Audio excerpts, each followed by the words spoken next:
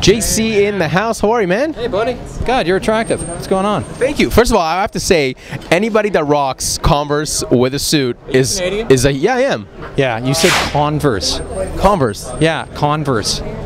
Called me out on it. And right away, I'm Canadian. Really? Yeah. Where are you from? Ottawa. Toronto. Really? I used to live in I used to live in uh, Montreal though. That's where I went to school, Montreal. Where? Concordia. Oh, okay, cool. I used to live in Côte Luc. I used to live in NDG. I think this guy's trying to one up me every time here. First of all, congratulations. Tell us about uh, working on this uh, film. First of all, it's based on a true story. Do you, do you are you more attracted to a script knowing that it's based on a true story? Uh, not necessarily. Uh, in fact, often when you see a bad film, it's you know starts with based on a true story.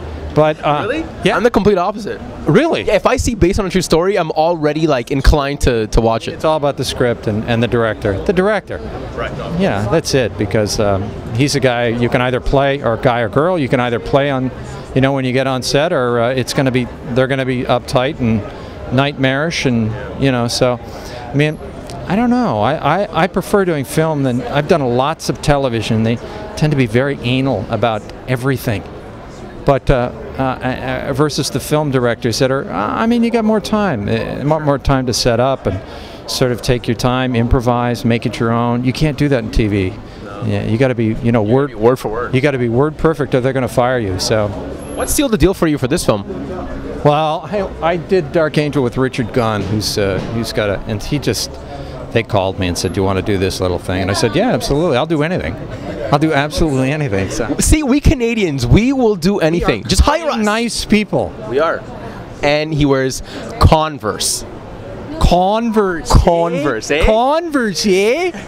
Man, you got to get rid of it. I mean, you don't How, say A. how do I get? No, I don't say A. Try it. Converse. Converse. Converse. Converse. There you go. Did I say it? Yeah, you said it. Converse. Don't say Converse. No Converse. No. Do you miss shoveling snow? I hate shoveling snow. Do you like the snow at all? Like, would you go and like ski somewhere? Ski. Yeah. Yeah. Well, you're Canadian. You got to take advantage of it. I ski and I skate. I mean, and I skate down here in Culver City, Yeah. and they think I'm uh, uh, some sort of weird Gretzky-like genius, and I'm barely skating. But nobody skates. They're all gripping the Yeah, yeah, the sides here in California. Pull, pulling themselves on. Oh yeah, yeah, yeah. I am a I am genius down here on the on the rink. I love my Canadians. What do you think of LA Kings? How about that? Right. Huh? Four zip? I know. Well, no, no. Wait, wait, wait. They're three. three game. No, no, but four. They got it was four zip last night. Yes. Zip means zero. Zilch.